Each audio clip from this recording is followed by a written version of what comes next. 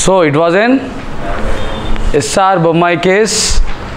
It was in SR Bommai case. Supreme Court gave certain guidelines for imposing president rule.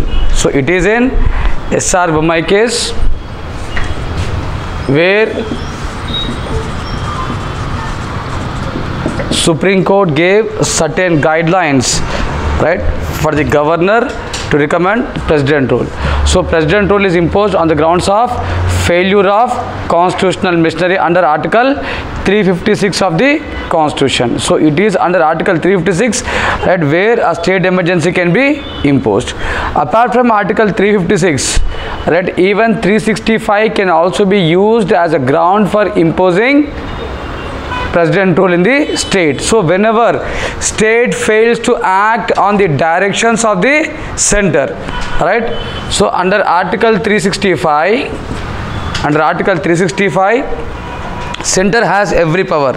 Center has every power to give directions to the state government and state governments are required to act according to such directions.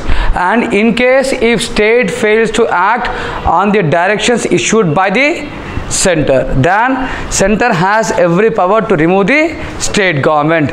The state government can be suspended the state government can be suspended by center for non acting on the directions or guidelines issued by center. Right? So this is another ground. This is another ground for imposing president rule in the state. Right? So both according to article 356 as well as article 365 so these are two grounds which can be used to impose president rule. Right? So as i was saying uh, governor has an important role in recommending the president rule. So though it is president who imposes president rule but still the report of governor plays an important role. So the decision of imposing president rule is based upon the report of governor.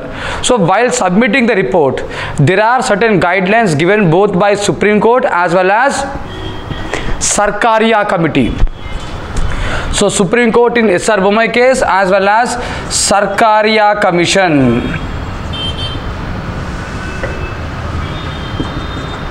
Alright.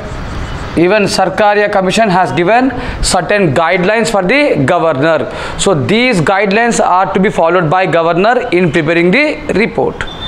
Alright. So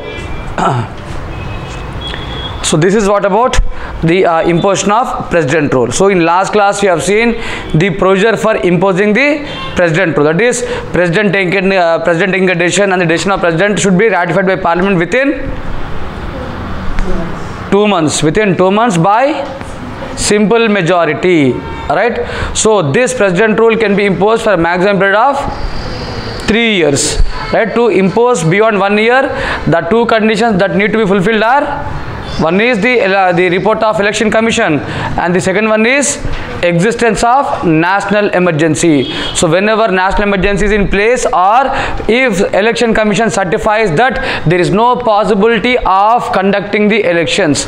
So in both these conditions in both these conditions alright the uh, uh, president rule can be extended beyond one year for a maximum of three years alright. So this president rule can be revoked by who has the power to revoke uh, the president rule? President of india. Does it requires any resolution to be passed in parliament? So no resolution required for revoking the president rule right? So president on his own president on his own can revoke the president rule. What about national emergency? How national emergency can be revoked? Amma parliament. Who has the power to revoke national emergency whether parliament or president? It is president. Whether president on his own or does he requires a resolution passed in parliament? So president either on the advice of prime minister or on the resolution passed in the lok sabha. What about Rajya Sabha do Rajya Sabha has any role in revocation of national emergency So Rajya Sabha has no role in revocation of national emergency. So President can revoke national emergency upon a resolution passed in Lok Sabha. So there is no role for Rajya Sabha here. Right. So this is so uh, the procedure for revoking national emergency as well as state emergency. Next, coming to Article 360 of the Constitution.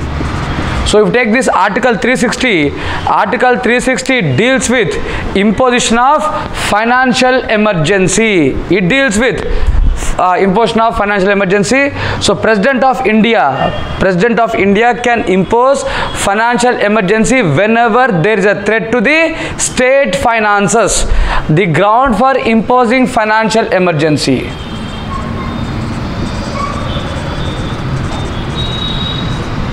The ground for imposing financial emergency is threat to state finances. Whenever there is a threat to state finances, a financial emergency can be imposed. Remember, a financial emergency can be imposed in the entire nation or in any part of the nation. A financial emergency can be imposed in any state or in whole of the nation. So this decision of president imposing financial emergency should be ratified by parliament within a period of two months by simple majority. Same as state emergency. Same as state emergency. Even a financial emergency requires ratification of parliament. So when parliament ratifies this financial emergency by simple majority, it can be continued. So for how many years this financial emergency can be continued? So if you take state emergency, there is a time limit of three years.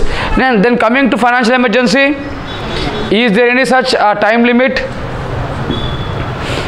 Is there any such time limit? So there is no time limit for financial emergency. So it can be continued as long as it is accepted by parliament. So once it is ratified, so this can be continued for any amount of time and the president of India has every power to revoke the financial emergency at any point of time right so uh, president on the advice of prime minister can revoke financial emergency at any point of time. So no resolution required in parliament no resolution required in the lok sabha. Right? So it is imposed by president and revoked by president of india. Right now we are saying that a financial emergency can be imposed on the right on the grounds of threat to state finances. Now what do you mean by threat to state finances? So that, that is the reason why as of today we don't have an exact definition of threat to state finances. It can be any ground. It is up to the government. It is up to the parliament to decide this word of threat to state finances. The word threat to state finances right, let it be what we call uh, defined by parliament right? So it is up to parliament to define this word uh, threat to state finances. So it is up to the interest of parliament as well as government right? So as of now we don't have any specific definition of threat to state finances. It can be a decreased gdp or uh, uh, recession or depression or it can be what we call any kind of economic crisis.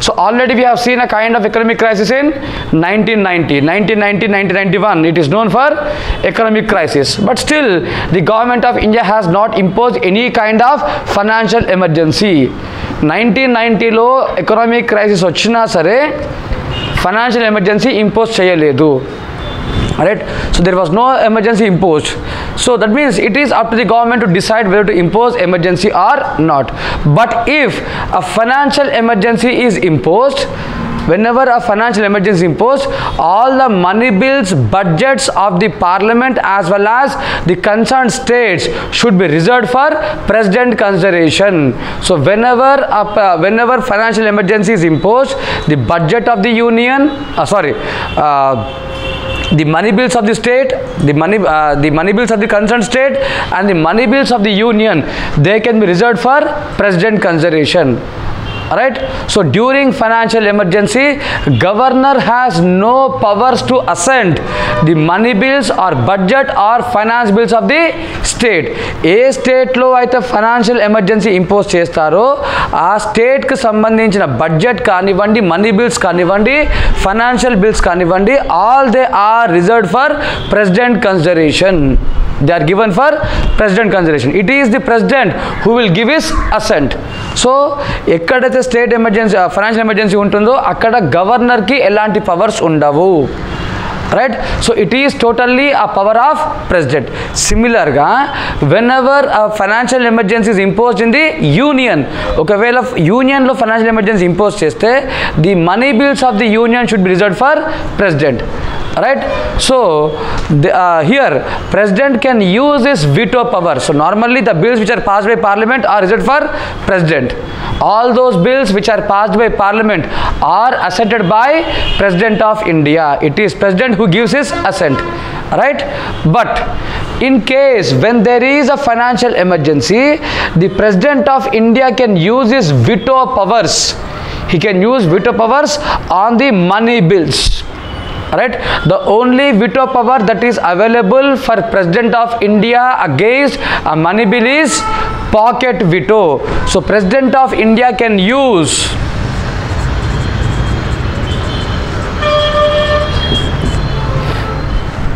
president of india can use a pocket veto power. Right so so this so this is an extraordinary condition. This is an extraordinary condition where the president of india can use veto power against money bills of parliament. So this is the only condition. This is the only condition where the president of india can use pocket veto or veto power against money bills. So normally in normal conditions in normal conditions the president of india has no veto powers on money bills. Money bills సంబంధించినంత వరకు ప్రెసిడెంట్కి ఎలాంటి veto powers ఉండవు. కానీ in extraordinary conditions like financial emergency or whenever there is a fall of government ఒకవేళ government పడిపోయింది అనుకోండి అప్పుడు కూడా the president of India can use his veto power he can use his pocket veto the only veto power that is used by president in extraordinary condition is pocket veto ఎందుకు ఈ point మరీ stress చేసి చెప్తున్నా అంటే మీకు లక్ష్మీకాంత్లో తప్పు ఉంది there is a mistake in Lakshmikanth so in Lakshmikanth it is given that right the president of India has absolute veto power as well as pocket veto power with respect to money bills of the union right so it is given that right there is absolute veto power against money bills of the union but remember president has no absolute veto powers against money bills of the union He only enjoys he only enjoys pocket veto right money bills సంబంధించినంత వరకు only pocket విటోస్ మాత్రమే ఉంటుంది. Absolute veto power ఉండదు. Correct చేసుకోండి. Right జనవరి సెకండా ఒక్కసారి nineteen fifty ఫోర్లో it was in nineteen fifty four and in nineteen ninety three it was twice the president of india has rejected money bills.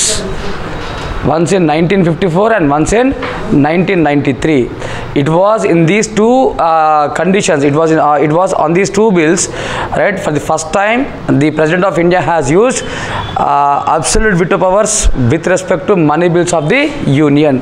But they cannot be generalized. They cannot be generalized and said that and uh, president of india has absolute veto powers. President of india can never reject a money bill of the parliament he can never reject a money bills of the what you call uh, state? He cannot use president of india can never use absolute veto powers with respect to money bills either of parliament or of state legislature